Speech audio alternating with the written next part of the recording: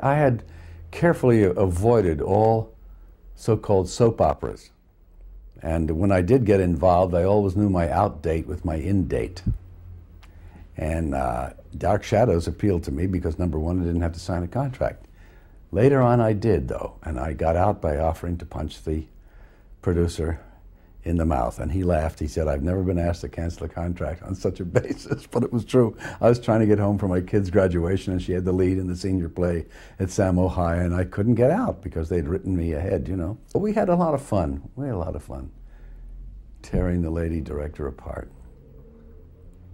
She used to get mad at me. I threw scripts at her because I, I'd memorize, and then they'd cut and memorize. Everybody else could read the damn monitors, except me without glasses. I couldn't see the damn thing, so I had to memorize. When the writers liked you, they wrote tons and tons of lines. And I don't know if in a half hour, was it a half hour or an hour? It was a half hour? Well, uh, if you figure there are maybe seven, eight characters in that particular segment, and you have a big scene or maybe two in the segment, you know, to do about uh, 22 and a half minutes of the half hour, the rest is commercial, you wouldn't think you would have that many lines to say. And that's what they do in these big hour soaps now. They're really divided into either five, 10 minute segments or four, 15 minute, whatever.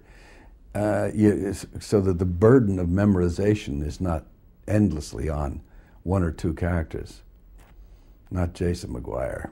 No, he was loved, beloved by the writers.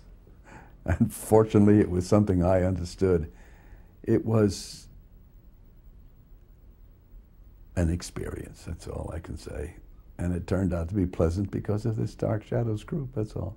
Every time I said Willie, Karlen couldn't keep a straight face, and he would break up and we'd have to start all over again. But there was a funny thing that happened there. I remember they would shoot and then they would stop for the commercial break. And uh, something had happened. I don't know. I guess it was Willie had broken into the local drugstore and was either taking blood samples or some damn thing. And uh, Mitch Ryan, I don't even know what the hell he played. Was he a detective, a policeman, or something? I've forgotten what it was. All I heard him say was, uh, Well, how did you know? That this sort of thing happened, and I heard him say just before the commercial, "Well, I was um, watching them on the microphone, sir, and uh, I could tell." And then they cut, and it was a whole set away from mine. I said, "Watching them on the microphone."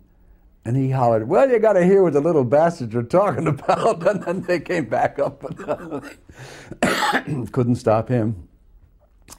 And we had well, we had a lot of obscenities going on because of the damn nature of the cows lying in the fields, sucked dry of blood, and the sheep going. And well, my fondest memories of Dark Shadows are really Joan and John Karlen. He, I don't know, I thought he was going to wind up playing me because every time I used the brogue, he would try to use it back. And I'd say, no, no, only one of us. You get bitten and I talk about it the way it was.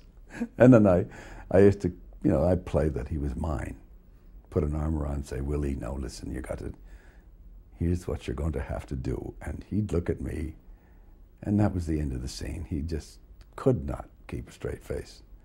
All we did was laugh. I had a good time. It's been a lovely, a lovely road to hoe, as they say. I wish it were back. I wish we were doing it because in the early days we really acted. We didn't, you know, we weren't fearful. We played fear, but we acted. John and I, man, we had scenes that went on for an awfully long time, and they had to be very, very carefully uh,